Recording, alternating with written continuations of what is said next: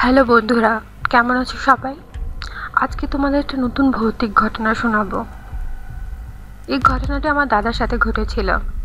আমার দাদার সাত ভাই, দাদারা সবাই একসাথে কোরবানি দিত। এখন যে ঘটনাটি বলব, সেটা উনিশশো পঞ্চাশ সালের ঘটনা। তখন কুরবানির ঈদের মাত্র একদিন বাকি। দাদারা গরু এক সপ্তাহ আগেই কিনে রেখেছে। আগেকার দিনে আবার গ্রামে প্রচুর গরু চোর ছিল তো তাই ছয় দিন তারা ছয় ভাই গরু পাহারা দিল। শেষ দিন আমার দাদার পালা এলো। বলে রাখা ভালো। আমার দাদা সবার ছোট ভাই। সকাল থেকেই আমার দাদা গরুকে মাঠে নিয়ে ঘাস খাওয়ালো, গরুকে ভুসি ইত্যাদি দিয়েছে। সারাদিন গরুর খেতমত করে চাঁদ রাতের দিন সন্ধ্যা হতেই আমার দাদা ক্লান্ত হয়ে পড়ে।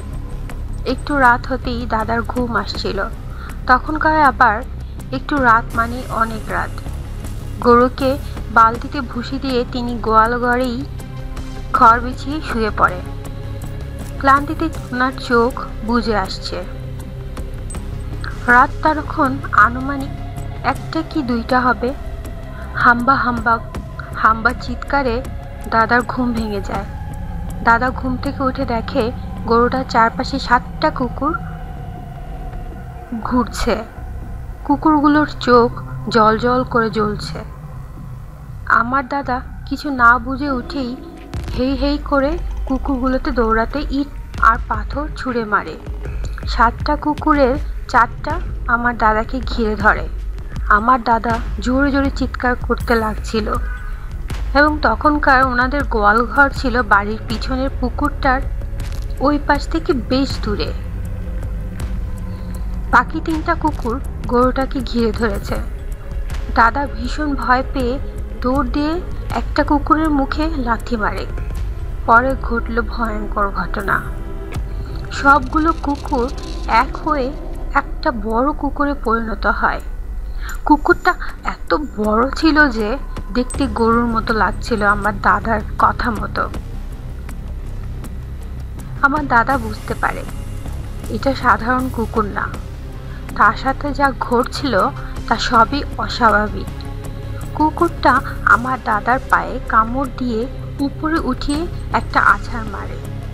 দাদা জোরে জোরে দোয়া পড়তে থাকে। দোয়া পড়ার পর উনি দেখেন কুকুরটা আবার সাতটা কুকুরে পরিণত হয়েছে। দাদা তখন আর আরও জোরে জোরে দোয়া পড়তে শুরু করেন। কুকুরগুলো আস্তে আস্তে পিছনে যেতে লাগল।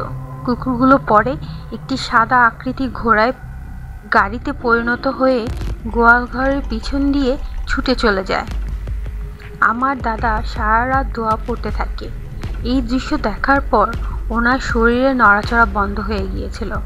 যখন ফজরের আজান দেয়, দাদা গরু নিয়ে বাড়িতে এসে সবাইকে পুরো ঘটনা খুলে বলে। দাদার প্রায় তিন মাস অসুস্থ ছিলেন। পরে ওনাকে বিভিন্ন হুজুরের কাছে নিয়ে চিকিৎসা করা হয়। এরপরে উনি সুস্থ হন। বন্ধুরা, ভিডিওটি যদি তোমাদের ভালো লাগে, তাহলে অবশ্যই লাইক এবং কমেন্ট করবেন। সাবস্ক্রাইব করতে ভুলবেন না। ধন্যবাদ।